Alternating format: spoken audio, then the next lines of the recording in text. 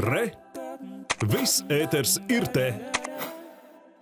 Jau rīt Mairim Briedim cīņa arēnā Rīga pret Nigērieti Duro Dulu dueļu uzvarētājs kļūs par obligāto pretendentu uz pasaules čempionu jostu pasaules boksa padomas versijā smagajā svarā līdz 90,7 kg.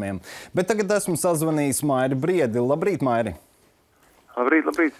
Rīt cīņa pret Duro Dulu, kā tu vari raksturot šo bokseri, kādas ir viņa spēcīgās puses?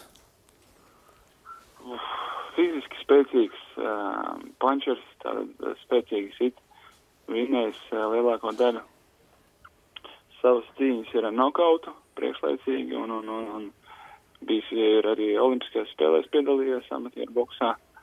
Uh, nopietns pretinieks, viens no nopietnākajiem. Kāds tev šodienas gatavošanās grafiks? Zināms, ka tev šodien uh, ir arī pieņemšana jau pavisam drīz pie mūsu valsts prezidenta, vai pēc tam plānots arī treniņš, kā, te, kā tev šodien, šī diena ir saplānota? Uh, šodien ir oficiālā sēšanos. Uh, tātad uh, būs pirmo reizi redzēsimies uh, klātienē ar Duradolu. Un, un, un, un uh, jā, svēršanās un, un, un preskonference. Rīt cīņas diena, kā aizrit parasti tava diena pirms, pirms cīņas? Es jau sakoncentrējies no paša rīta vai tikai pāris stundas pirms cīņas ir šī te Dienas- maksimālā? Dienas laikā, dienas laikā mēs uh, koncentrējamies, gatavojamies komandu, izrunājam, ko darīt, kā darīt, kas ko darīs. Un, un, un, un tad jau pieejam pie pašas pusnakts, teiksim, cīņas.